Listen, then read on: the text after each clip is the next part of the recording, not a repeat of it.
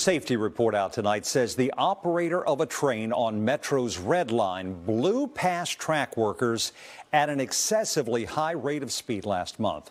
Jaws dropped when it was revealed that train operator had been working 30 days straight at the time.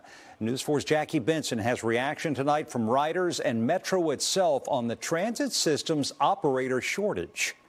30 days, a month straight without a day off. That's how long the Washington Metrorail Safety Commission says the operator of a Red Line train had been working on November 16th when the train passed track workers at an excessively high speed. Many of these shifts leading up to this Red Line event involved extended and varying hours. The WMSC, an independent oversight entity, says Metro has fewer train operators than it should. Metrorail has approximately 60 fewer operators available each day than the schedule specified. Metro released a statement to News 4 that says Metro is on a path of continuous safety improvements, and we appreciate the WMSC's efforts on our shared goals.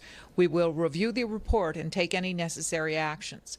Riders we spoke with say 30 days straight behind the controls of a train is too long. That's not good. Nobody should be working those hours. Not so safe, I guess you'll say, because, you know, they're probably tired. Yeah, that would make sense. Last year, Metro began an aggressive push to hire more bus and rail operators, including a salary increase. In Northwest, Jackie Bensen, News 4.